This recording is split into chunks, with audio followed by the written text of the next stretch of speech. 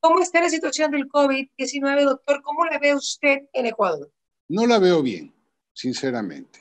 No, no, no la veo bien. Eh, yo creo que ni siquiera podríamos hablar de, de una segunda ola, porque a mi entender la primera nunca se fue.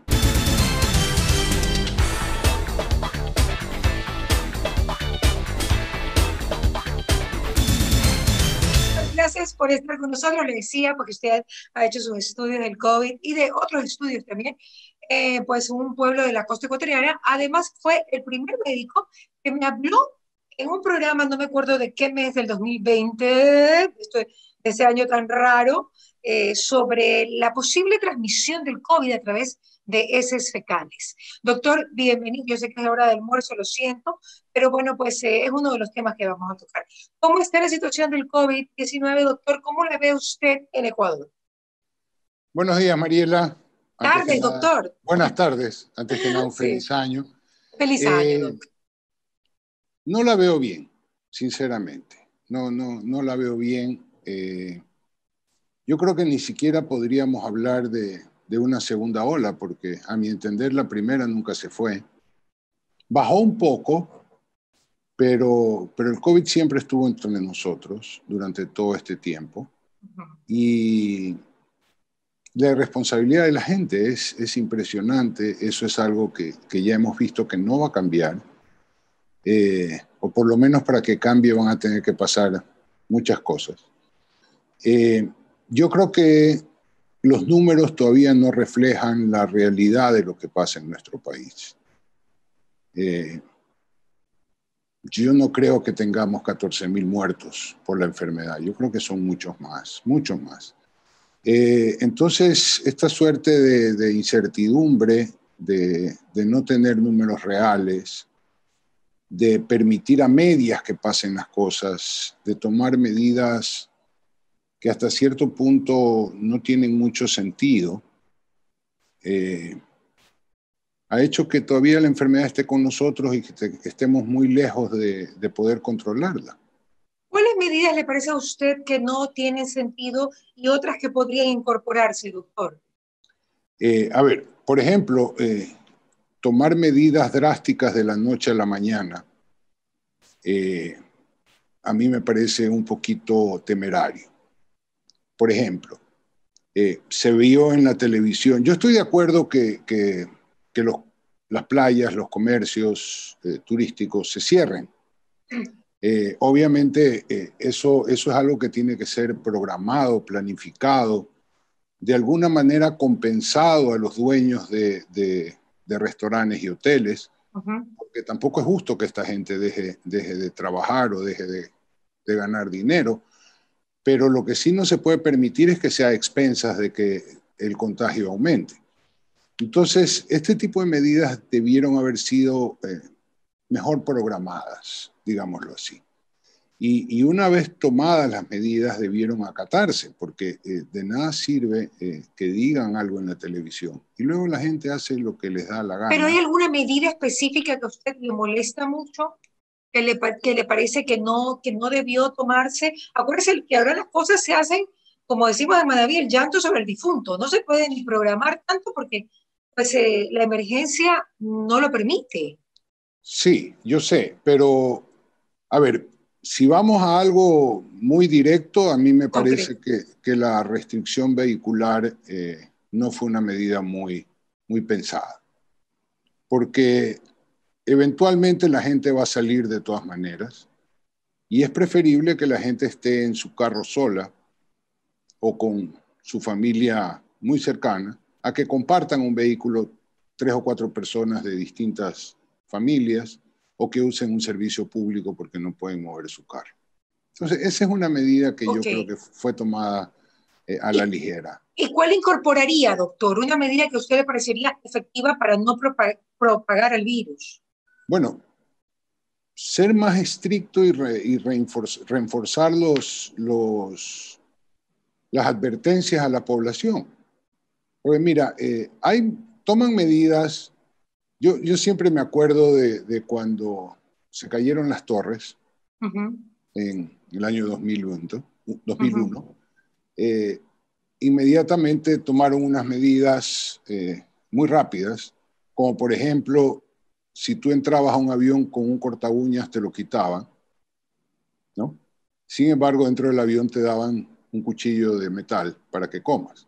Entonces, sí me explico, son cosas que no tienen sentido.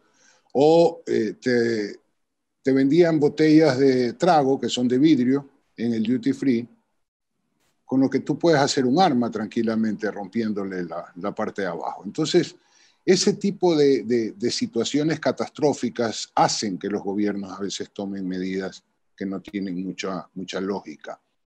Eh, pero lo más importante es la colaboración de la gente, porque medidas apropiadas como el no permitir las reuniones públicas de más de un número de personas, etcétera, eh, simplemente son ignoradas por la gente. Tú viste, tú viste en la televisión esto que pasó en la famosa calle 8. Eh, y luego en la misma calle, a pesar de las sanciones, eh, hicieron una reunión para un bingo o algo así. Lo mismo pasa en Quito y asumo que lo mismo ha de pasar en las ciudades grandes del país. Como igual pasa en Estados Unidos y en Europa. O sea, tampoco, es que, tampoco es que tenemos que, que decir que nuestra gente no colabora, porque en realidad nadie en el mundo colabora. Y por eso, por eso es que estamos como estamos. Ahora, doctor, ¿cómo lo ve? ¿Cómo lo ve ahora el COVID en el 2021? ¿Lo ve que, que se hablan de varias cepas, que ya viene la cepa de África, que ya llegó, o sea, o sea, más o menos así como, es casi un chiste que por dónde está, que, ¿cómo lo ve? ¿Cómo, cómo, cómo ve el virus este 2021? ¿Cómo podría usted, no digamos que sea un pitonizo, pero, pero sí decir cómo, lo ve, se va a debilitar. Los virus cambian, los virus tienen sus mutaciones. Sí. Eso es algo que ustedes los científicos lo saben. Todos los virus del mundo tienen mutaciones y tienen sus variantes. El COVID no es el único, ¿ok? Pero también es cierto que el virus, los virus con, el tiempo se van debilitando. ¿Cuál es su, digamos, en relación a su conocimiento científico, qué usted cree que va a pasar con el virus en, en el 2021 más allá de la vacuna? Bueno, lo que pasa es que la vacuna sí va a ser un parteaguas, creo yo, cuando se la pueda administrar en forma masiva y para eso nos vamos a tardar en el mejor de los casos todo este año me refiero a todo el 2021. Eh, el virus no se está debilitando. Ya. Por el contrario, aparecen cepas nuevas que si bien no son más graves, son más contagiosas. Entonces se pone en riesgo a un mayor número de la población. Entonces, eh, si tú te fijas en los datos y en las estadísticas mundiales, todos los días hay más casos de, coronavirus en el mundo. Ahorita ya creo que andamos cerca de 700 mil casos diarios, cuando en agosto había 30 mil. Entonces, eh, todavía ni siquiera es que hemos bajado de la primera ola, peor en pensar en la segunda. Eh, Un virus como este se ha ido reforzando con los meses y con el tiempo. La influenza Sí, yo, yo, diría que no. Yo diría ¿El VIH? No. no, tampoco. O sea, no, no es que ahora, eh, y, yo, y tampoco pasa en el coronavirus, o sea, no es que ahora tenemos, tenemos un, VIH, un VIH más agresivo que hace 20 años. Los mecanismos de contagio son los mismos. Eh, no es que ahora tenemos una influenza más agresiva que hace 20 años, sino que son son enfermedades que, por ejemplo, el VIH eh, tiene sus formas muy claras de, contagio y uno puede razonablemente bien prevenirlas. Sin embargo, el contacto aéreo y, esta posibilidad del contacto fecal eh, son, son vías de transmisión que es muy difícil de prevenir, a no ser que la gente, y cuando digo la gente me refiero a todo el mundo, tome medidas muy estrictas. Fíjate que incluso, incluso en, países altamente desarrollados, eh, los gobiernos y la policía simplemente no pueden, no pueden, no pueden. Es, es una cosa, no sé si sea generacional, no sé si sea que el mundo se acostumbró a vivir a su libre albedrío y hacer lo que le da la gana y no entienden ahorita que, que, no, no, no podemos hacer lo que nos da la gana, que tenemos que por un tiempo y por un tiempo razonable eh, parar todo, o si no, esto no se va a ir nunca. Doctor, ¿por qué razón el virus se hizo más contagioso y menos letal? ¿Será que el virus quiere, quiere vivir y no matar a la persona? O sea, el virus puede ser tan inteligente que dice, escucha, mejor hago esto, ¿no? Quiero estar en todos los lugares sin matar para que, para, para yo tener también opción a vivir. Estoy pensando como virus. Bueno, no, no, no, y, piensas muy bien. Todos los microorganismos tienen en su código genético eh, el principio de supervivencia. O sea, muy pocos agentes, muy pocos microorganismos, agentes patógenos, son tan, tan agresivos que matan a toda la población infectada o al 80% de la población. Y eso a la larga eh, hace que el virus se muera porque ya no tiene, no tiene ¿Dónde ir? Donde ir. Eso pasa con el ébola, por ejemplo. El ébola cuando entra en una población es tan agresivo que mata al 80% de la gente y se autolimita. Pero la mayoría de los virus, bacterias y parásitos no son así. Ellos necesitan del ser humano para poder reproducirse y por lo tanto tienen, como te digo, en su código genético, tienen eh, la información necesaria para no matar suficiente gente y así poder sobrevivir.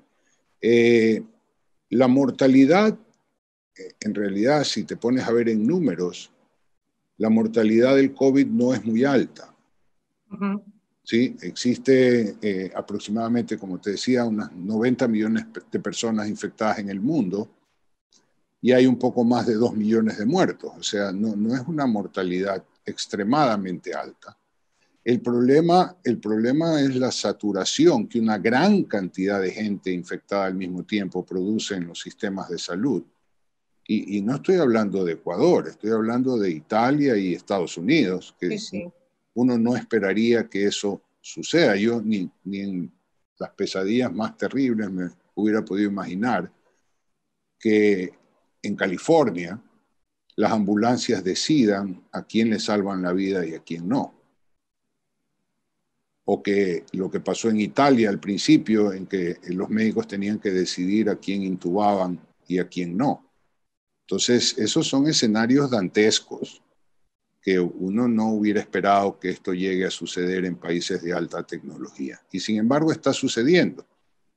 Entonces, eh, la gran cantidad de gente infectada, más que la mortalidad, satura los sistemas hospitalarios y eso hace que gente que no debía morirse se muera.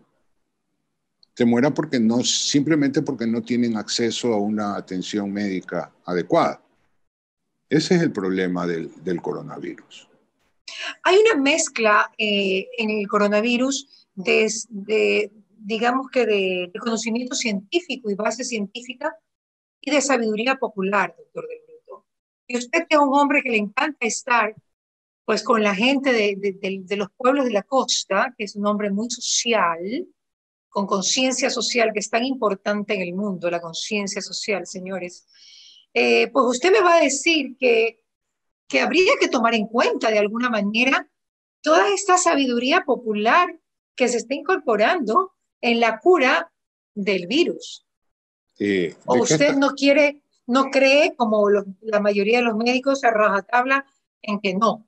¿De qué, ¿De qué estamos hablando cuando mencionas sabiduría popular? De tantas cosas, doctor. Para que usted me lo hace nombrar porque después me bajan en YouTube.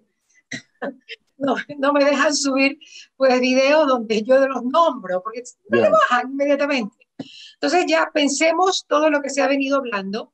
Eh, hay varias cosas que la gente pues se, está medicando cada 20 días, dos, o o, bueno, los famosos baos, que eso, eso sí es verdad, porque, porque un, digamos que, una, un, un, un, bao de 70 grados, pues te mata cualquier cosa por dentro, ¿no?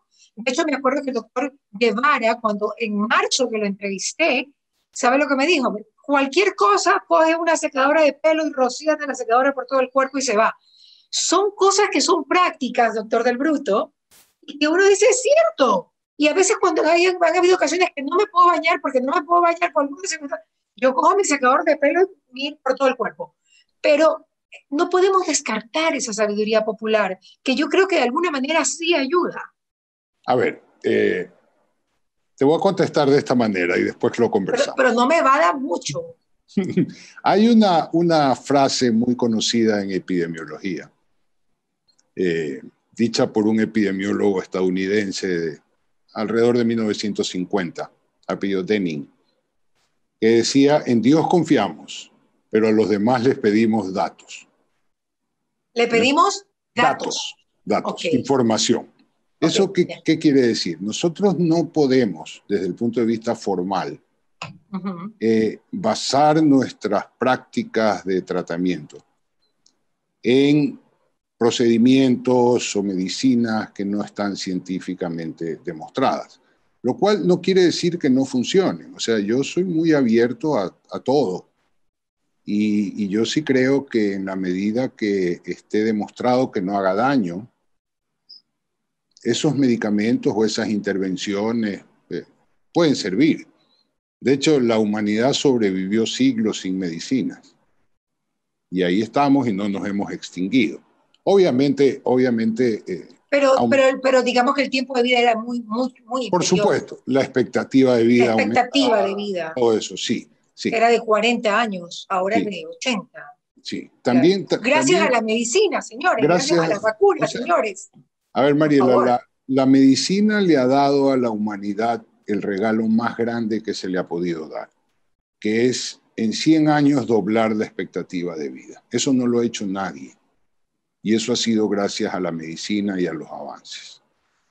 También te voy a mencionar otro, otra frase famosa en epidemiología que dice que la ausencia de evidencia no quiere decir evidencia de ausencia.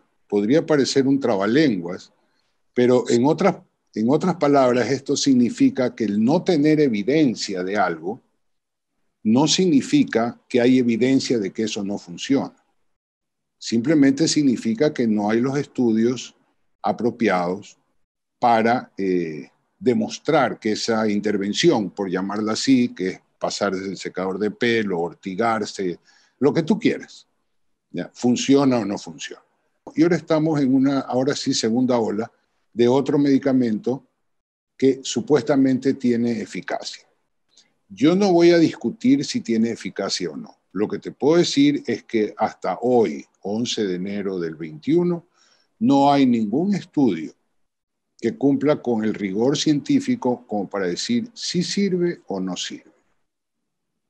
Estoy de acuerdo en que si alguien eh, se ha expuesto al virus, entre que son peras y son manzanas, lo tome, porque es un medicamento que con excepción de discretas molestias abdominales no produce nada más lo que sí no estoy de acuerdo es la falsa sensación de seguridad. Y óyeme bien. Ya.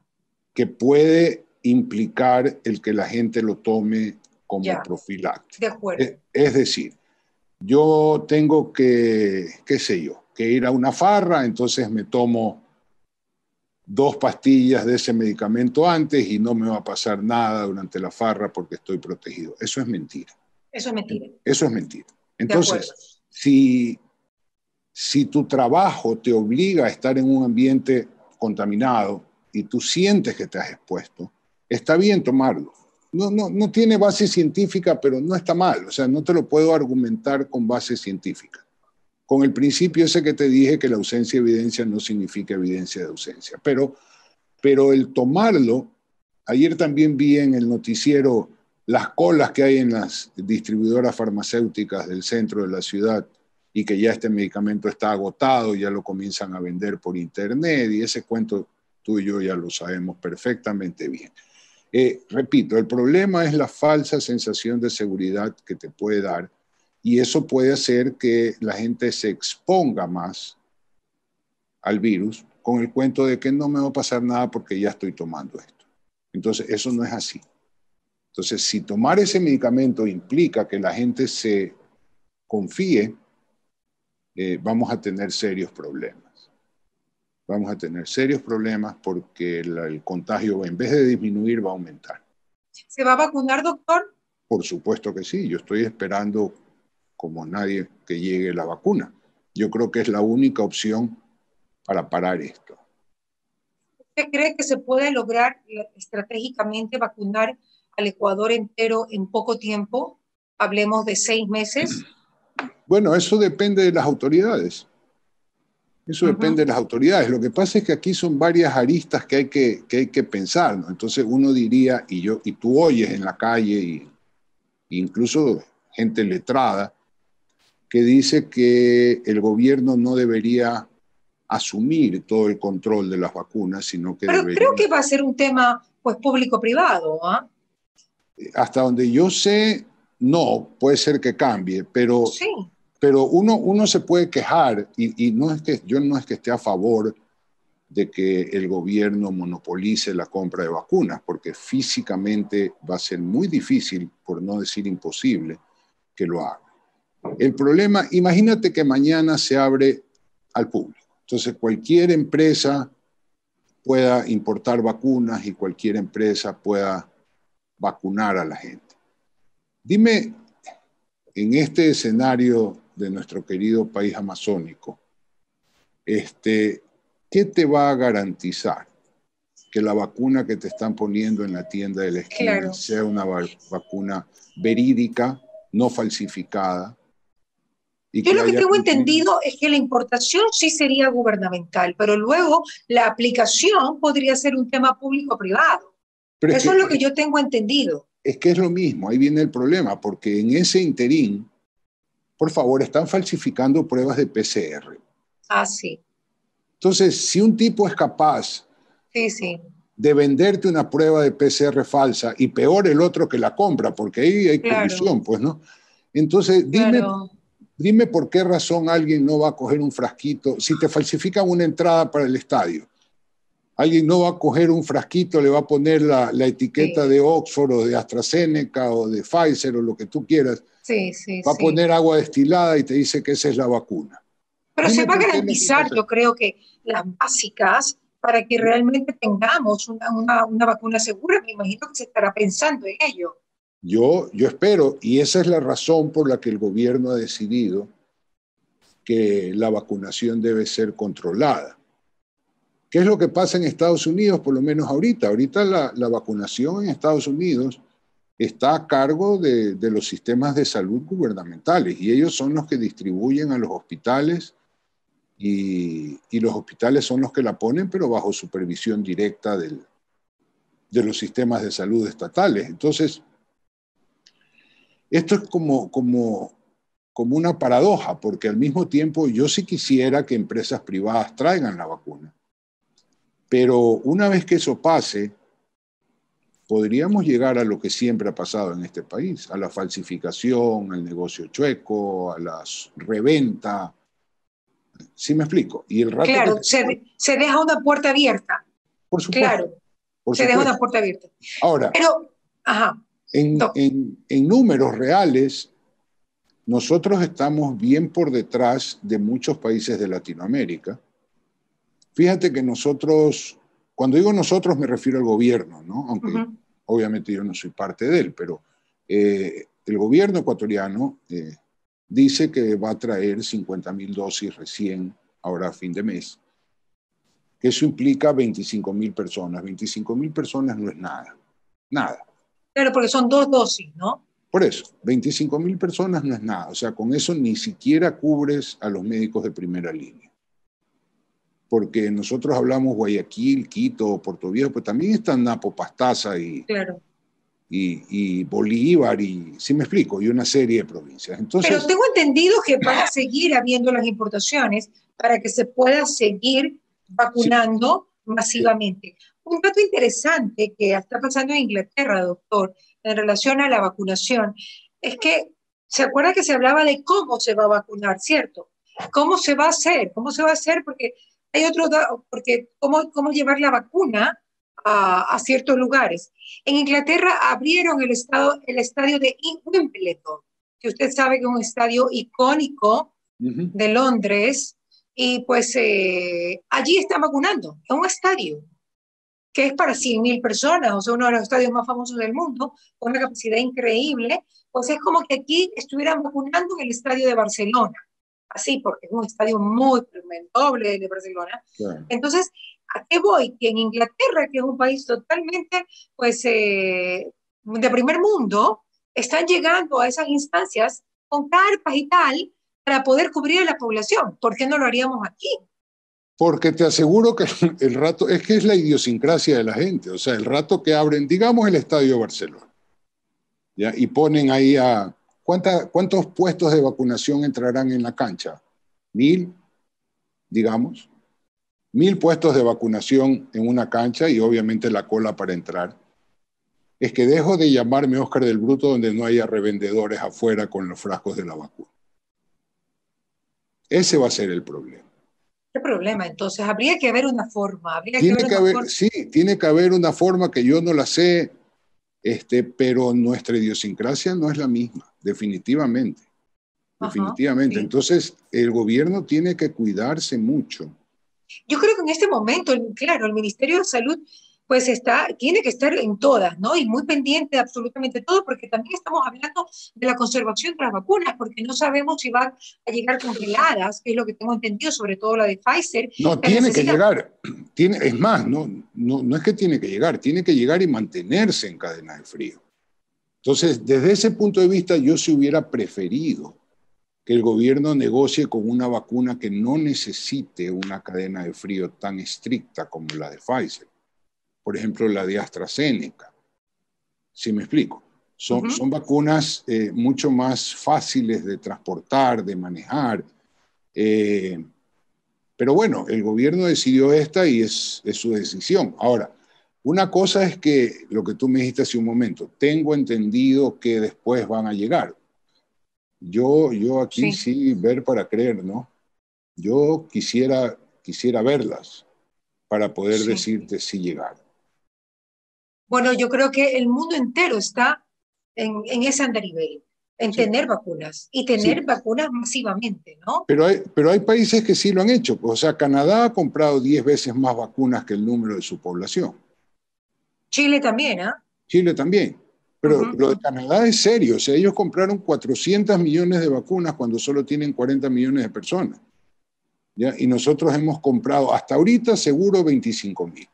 Bueno, también imagínense la cantidad de plata que tiene Canadá que pueden hacer eso, porque ¿qué van a hacer con el resto de vacunas, no? Sí, Tal vez guardarlas. Aquí, no por si acaso se acaben en el mundo. No sé qué van a hacer. Eh, Pero tampoco me parece muy correcto que compre tantas cuando tal vez en otros, otros países no tengan la opción porque ya se le dieron a Canadá en, esa cantidad. Sí, esa es otra que, que tampoco está bien. O sea, tampoco está bien. Eso es acaparación, es acaparar. ¿ya? Pero, pero en todo caso, cuando hay dinero es posible. Tú sabes si algún día se va a vacunar África. Bueno, realmente la UNICEF ha formado eh, esta fundación, que en este momento no se me viene el nombre, que, que están muy eh, activos en el tema de, de, ver de qué forma los países del tercer mundo van a ser vacunados. Tiene un nombre, en este momento no me acuerdo, pero la UNICEF está dentro de, de este, digamos que de esta acción que van a realizar, pues junto con la OMS, para poder llevar las vacunas a todos estos lugares, así como África, también América Latina, estos lugares donde probablemente pues no se llegue por medio de los gobiernos a todos, pero ellos están eh, interesados en que se dé. Es como una fundación. Sí, puede ser la FAO, pero... No, no es la FAO. No es la FAO. Bueno, como sea que se llame. Pero lo que yo sí te digo una cosa, si América Latina es tercer mundo, África es cuarto. Quinto también. Y quinto también. Entonces, la situación es distinta. Yo, yo, yo, creo que en eso no nos podemos comparar. Eh, pero mientras África no se vacune como tal, como continente, eh, el riesgo de la enfermedad va a existir. Va a existir. Entonces, claro se apunta, se apunta a un 70% de la población vacunada, pero estamos hablando a nivel mundial. Y eso yo sinceramente lo veo, lo veo difícil. Eh, eh, otra cosa, la vacuna te va, teóricamente, en el mejor escenario, a proveer una protección de dos años, según lo que estiman los fabricantes, lo cual significa que en dos años va a haber que vacunarse de nuevo. Imagínese. y otra vez el mismo movimiento. Y otra vez el mismo movimiento. Entonces, yo no sé si nuestros países van a tener la capacidad de afrontar eso. Y como te digo, hasta ahorita lo único que tenemos seguro es que hay dosis para 25 mil personas. That's it. El resto son promesas. Entonces, esperemos que se, que se den, porque realmente... esperemos que se den, estamos Todo el país está empujando para eso, ¿no? Sí, todos, todos, todos queremos eso. Esperemos que se den. Eh, va a haber cambio de gobierno, acuérdate. Entonces las decisiones que se hayan tomado aquí eh, no van a ser necesariamente las decisiones que se tomen en el próximo gobierno. Eso también es cierto. Eh, una cosa que no, no, no, es que esté hablando de política, pero porque no es mi campo ni me interesa, pero me llama mucho la atención que ningún candidato ha enfatizado en la importancia del coronavirus. Y el coronavirus tiene de rodillas al país y al mundo. Pero uno de los candidatos sí habló del sistema de salud. Yo no estaba acá, pero vi en Twitter todo lo del debate, lo que pude ver, y sé que un candidato habló sí sobre el sistema de salud. Ah, eso, eso se me pasó por alto, no sé, pero, pero deberían, deberían de enfatizar mucho más en eso, porque como te digo, es, es, es un virus que tiene de rodillas al país, como nunca antes ninguna otra enfermedad la tenido. Como nunca otra antes otra enfermedad, no hay duda. Una verdadera pandemia. Mi querido doctor, me despido de usted, pues con esto, gracias, gracias por estar acá. Usted está más flaco, ¿no, Doc? Eh, un poquito, un poquito. ¿qué, dieta hizo? Le queda bien, ¿ah? ¿Qué dieta hizo? No se ponga rojo. el, no el no salir de la casa. ¿En serio? ¿Pero qué? Pero no porque le dio depresión, doctor. No, no, no, gracias a Dios no, y sí me mantengo bien ocupado. O sea que su esposa cocina mal, ¿ves? porque no, hizo dieta, comió sano. Más ejercicio.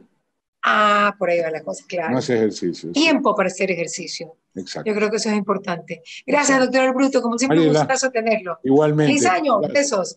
Chicos, y con ustedes nos vemos el día de mañana, si Dios lo permite, acá en Radio Fuego 106.5 en las extensiones digitales y en mi canal YouTube, Mariela TV. Bye, chao, chao. ¿Qué pasa con Mariela? Llegó a ustedes gracias al auspicio de UTEC, Nature's Garden, Senel, Pharmacies, McDonald's, Claro, Produbanco, Ceviches de la Rumiñahui, Urbaceo, Unidad Educativa Paul Rivet, ATM, Maggi y Prefectura del Guayas. Que vuelvan los besos, las risas, las voces